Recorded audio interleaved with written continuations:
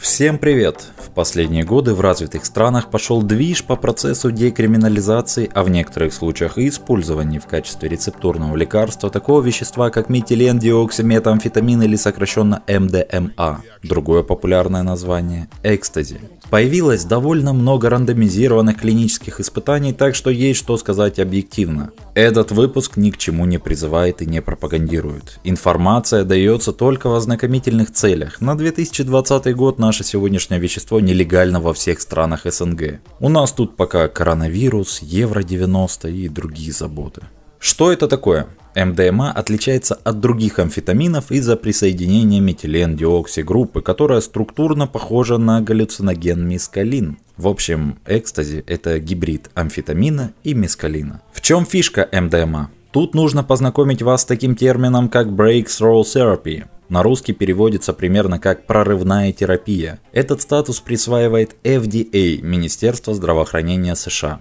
Еще немножко будет аббревиатур. В общем, FDA дает прорывную терапию каким-то перспективным штуковинам в мире фармацевтики. Этот статус не означает, что все супер, давайте выведем лекарство на рынок. Это скорее приоритетное рассмотрение и ускорение регистрации, если предварительные данные говорят о высокой эффективности лечения, выше, чем все, что сейчас существует. Такой статус сейчас есть у экстази и псилоцибиновых грибов. Грибы продвигаются для тяжелых форм депрессии, а экстази для посттравматических стрессовых расстройств. И сейчас выделяют две основных причины, почему эти наркотики станут лекарствами. Первая причина. Экстази и грибам присвоили эти статусы уже несколько лет назад, и я пока не видел ни одной новости от FDA, что все фигня, грибы опасны, расходимся. Если вы видели подобную новость из США, напишите в комментах. До тех пор, пока этого нет, проекты развиваются, и вероятно через 1-3 года вы услышите по телевизору Некий препарат на стадии клинических испытаний, предварительно одобренный заокеанским Минздравом. Что тяжелые формы депрессии лечатся псилоцибином. Якобы невероятно эффективный в борьбе с психическими расстройствами. На месте задержания злоумышленников побывал председатель исполнительного комитета Виталий Наливкин. Вторая причина. В августе вышел отчет CDC. Это уже Центр по контролю и профилактике заболеваний, тоже США, больше аббревиатур не будет. Вот с такой вот интересной инфографикой. Для сравнения, в 2019 году симптомов тревоги и депрессии было почти в три раза меньше. Представляете, сейчас каждый десятый задумывается о самоубийстве хотя бы раз за последние 30 дней. А, доктор, я хочу покончить с собой. Вот это правильно. Я никому не нужен. Ну, конечно, вы никому не нужны. Пожалуй, тут не нужно никакого медицинского образования, чтобы понять, что все не очень хорошо. Тревог и депрессий становится больше, и как нельзя кстати будет изучение новых антидепрессантов со статусом прорывной терапии. Так что проекты развиваются, а тех, кого надо лечить, становится больше. Теперь давайте подробнее про экстази. Все как вы любите. Эффекты, на что влияет, какие риски и как себе починить мозг. Эффекты. Основные мотивы при приеме МДМА – это значительное улучшение настроения, доверия и эмпатии. В целом, это и есть базовый эффект, почему вещество продвигают для лечения ПТСР. В прошлом году сравнили пользователей разных наркотиков по шкалам эмпатии. Оказалось, что именно группа с экстази набрала больше баллов по эмоциональной и когнитивной эмпатии. Больше, чем в группе алкоголя или любителей других наркотиков. График роста общительности на экране. Видно, что дозировка в 1,5 мг на килограмм довольно неплохо облегчает коммуникабельность. Что интересно, люди больше говорят позитивных слов под воздействием наркотика. Рисунок также на экране. Процент негатива же не отличается от плацебо. Наверное, поэтому вещество стало самым популярным на рейвах и фестивалях электронной музыки. Ну а чего? Движ, плюс настроение, плюс желание поговорить. Видимо, кому-то пришла в голову идея. Раз эта наркота повышает разные положительные чувства, то давайте дадим экстази тем, кому уже вообще ничего не помогает, кто видел слишком много дерьма этого мира, людям с тяжелейшими психотравмами, кому хуже уже не будет. И вдруг как понеслось, процент положительных исходов начал превосходить все существующие формы лечения ПТСР. ПТСР это не когда тебя уволили с работы и ты что-то приуныл. Или когда тебе 18 и ты впервые расстался с девушкой. Этот диагноз получить вообще непросто. Более того, он еще условно делится на тяжелую, среднюю и легкую форму. В среднюю и тяжелую попадает все самое ужасное, что вы можете пережить. Например, это участники серьезных боевых действий, служба быстрого реагирования, а также бывшие заложники, люди, пережившие пытки, изнасилования и прочую подобную жесть. И вот, в середине этого года выходит отчет после 12-месячного наблюдения тех, кому 2-3 раза давали экстази, плюс проводили 8-часовую психотерапию на фоне. Ну, мало ли, эффект держится только в момент приема, типа упоролся какой-то химией, полегчало, а через месяц все по-прежнему плохо. Но тут 97% через год говорят об улучшениях симптомов ПТСР средней и тяжелой формы. А до этого были данные, что преимущества сохраняются и через несколько лет после последнего сеанса МДМА и психотерапии. Ну и конечно логичный вопрос. Что такого это вещество делает с мозгом, если люди, пережившие худшее, что можно представить, возвращаются к относительно нормальной жизни? Как обычно, все крутится вокруг дофамина и серотонина. Как гибрид амфетаминов и психоделиков, вещество просто не может не влиять на эти два нейромедиатора. Поэтому пока их опустим и акцентируемся на двух других моментах. Окситоцин. Недавно в Университете Новой Зеландии упомянули еще один возможный механизм такого социального эффекта МДМА, помимо известных всем серотонинов и дофаминов. Это окситоцин. Он растет в 6 раз после приема МДМА. Если что, это много. Два года назад заметили, что некоторые сразу могут стать экстравертами только из-за отличий в генах и полиморфизмах, связанных с окситоцином. На рисунке видно, насколько сильно переплетены между собой эффекты МДМА и окситоцина. Тут и стремление быть среди людей, и снижение интроверсии, и желание обнимашек.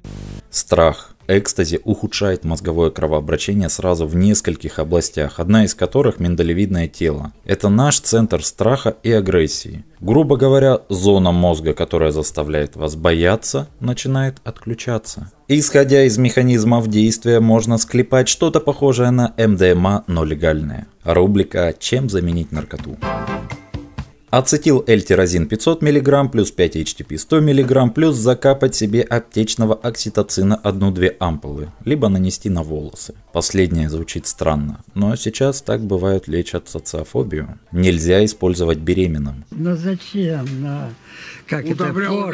Ну, это вообще... Дело в том, что вот... Ты втираешь мне какую-то дичь. Если вы начали уже угорать, вот вам рисунок сравнения приема экстази, верхние три, и закапывание окситоцина, нижние три. Судя по баллам проницательности или взаимопонимания, это правые графики, чистый окситоцин реально похож на экстази. К слову о заменах, есть интересное исследование из Бразилии. В общем, там часто продают силдинофил под видом МДМА. В России силдинофил больше известен как Виагра. Наверное, люди сочли эффекты от этих веществ похожими. Это информация в тему к предыдущему ролику о сексе. Nice. Теперь о темной стороне будущего лекарства, о том, что не все так прекрасно с этой таблеткой для счастья. В настоящий момент экстази нелегально, а значит нет контроля за его производством. Отсюда вытекают риски, что будут примешаны другие вещества, недостаточное или избыточное количество самого действующего вещества, непонятно где это и как все хранится, риск тюремного заключения. Когда вещество будет в аптеках, будет и контроль со стороны регулирующих органов. И, видимо, первая страна с экстази в аптеке будет США. Экстази вообще сильно бьет по эмоционально-мотивационной системе. Тот случай, когда один день эйфории, а потом неделя депрессии. По некоторым данным, экстази может настолько сильно ударить по системе серотонина, что восстановление займет годы. Например, четырехдневное введение МДМА приматом убивало серотониновые нейроны в некоторых областях мозга на 7 лет. Выборка маленькая, частота приема высокая, но все же. В другом исследовании показано, что МДМА гиперактивирует D1 дофаминовые рецепторы, из-за чего также портится и память. Ухудшается ее кодировка и извлечение. То есть забыть прошлое может быть полезно как раз при ПТСР, но никак не при обычной жизни. Когда важна хорошая оперативка и запоминание больших объемов данных, скажем, адвокатам, то это сделает вас тупее.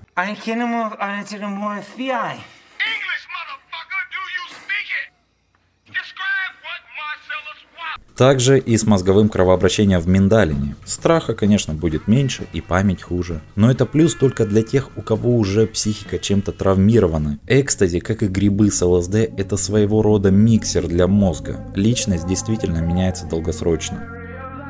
Лечение Итак, что удалось найти по восстановлению мозга? Витамины. Взгляните на рисунок и просто почитайте. Оказывается, что простое добавление витамина С в момент приема экстази и после через неделю восстанавливает уровни серотонина до нормы в данных на животных. А вот вам вырезка из данных за 2018 год. Добавление витамина D в дополнение к антиоксидантам снижает хронические нарушения гиппокампа, вызванных МДМА. Поэтому обычные мультивитамины уже неплохо сохранят мозг.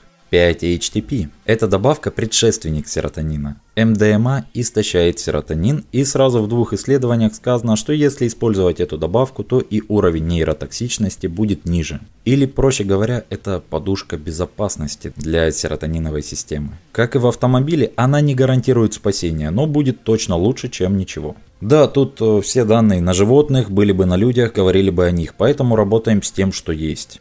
Тирозин, добавка L-тирозин или более современная N-ацетил-L-тирозин поможет сохранить уже дофаминовую систему. Эти добавки вообще необходимы всем любителям стимуляторов, предтреников, энергетиков и крепкого кофе по утрам для снижения вреда мозгу. Особенно, когда замечаете, что появляется нечто вроде истощения, но не физического, а скорее в мотивации. Ну и конечно есть данные в пользу ЗОЖа, спорта. Более спортивные животные испытали меньшее ухудшение работы мозга после крупных доз экстази. Про спорт и достаточность сна уже понятно, наверное, всем. Это универсальный способ улучшить состояние организма.